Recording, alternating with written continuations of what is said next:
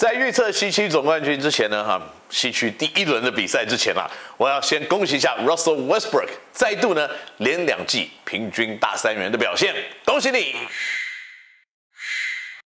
！Oklahoma City 呢，在第一轮碰到的对手呢，将是犹他爵士队。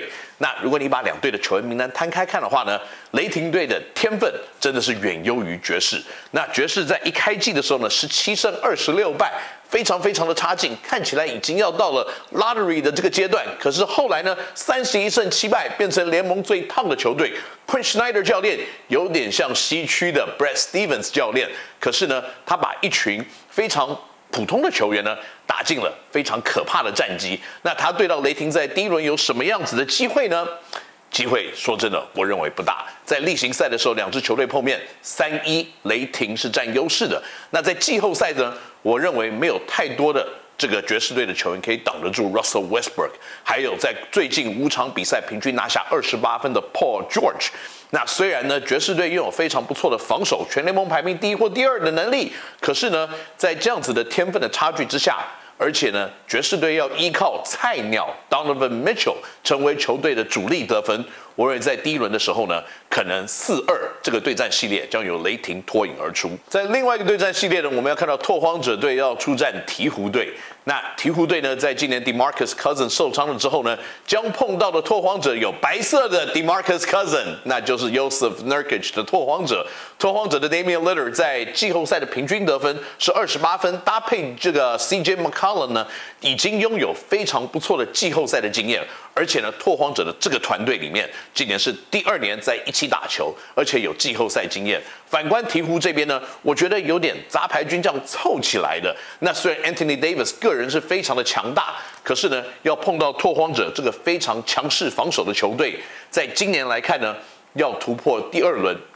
对到拓荒者是有困难的，虽然在例行赛的时候两队打成了二比二的平手，可是不管以季后赛的经验以及团队的合作的战力来看，拓荒者都是优于鹈鹕的。这个对战系列，我认为是四一结束，拓荒者晋级。那在下一个对战组呢，我们要讨论的其实是大家还蛮关心的，也是我非常关心的，金州勇士碰到马刺队。在这两支球队今年的两支次次碰面的情况之下呢，马刺。是落败的三比一，而且赢球的那一场比赛里面呢，这个马刺碰到的对手是没有 Steph Curry 也没有 KD 的一个状况，所以呢，在最近的九场比赛里面碰到这个勇士，包括季后赛，他们是只赢了一场，所以在这样子的一个情况之下，季后赛看起来还是仍然没有 Kawhi Leonard 碰到勇士，他们有任何的机会吗？我个人认为机会不大。虽然勇士在最后的十七场比赛是七胜十败，没有 Steph Curry 的情况下，他们的战绩也没有太好。可是光以天分来看，要阻挡 Popovich 以及 Lamarcus Aldridge 领军的这个马刺，嗯，我觉得是非常足够的。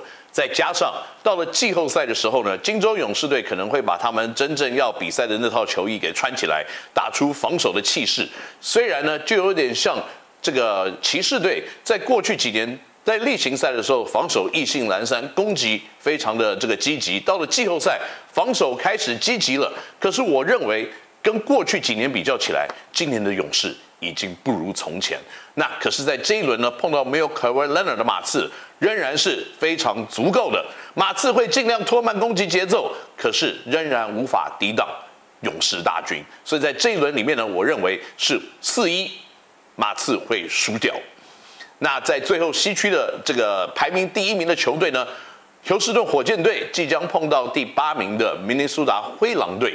在这个对战组合里面呢，这个首先也要先恭喜一下灰狼队，在十三年没有进季后赛，首次进季后赛，可是碰到的对手就是联盟里面有六十五胜的火箭。而在 NBA 的历史里面呢，过去有六十五胜战绩的球队，在五次的这个季后赛的第一轮里面，他们的成绩是。二十胜一败。那在今年两支球队碰面的时候呢，火箭队也是横扫了 Timberwolves。那 Timberwolves 呢，他必须要有 Jimmy Butler 真的跳出来挺身而出，再加上呢，Carl Anthony 这样打得非常非常好，而且他们的第三轮呢，这个 Andrew Wiggins 他必须要真的像男人一样挺出一个一哥的架势。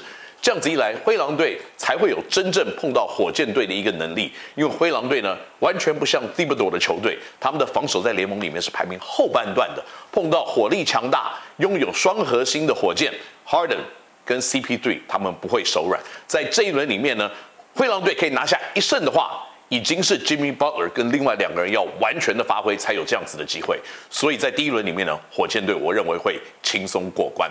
好了，以上就是我对西区呢在季后赛第一轮的看法。如果你有不同的意见的话呢，欢迎到我们 PP Plus 的粉丝页或到我个人粉丝页一起来跟我好笑一下。我们下次好笑天再见，拜拜。